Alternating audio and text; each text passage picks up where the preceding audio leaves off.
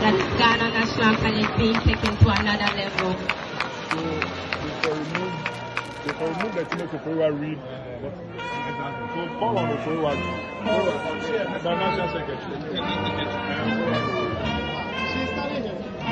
So we call on the National General Secretary, Nana Ufuriwa Kwao Adote, for the salute description Union.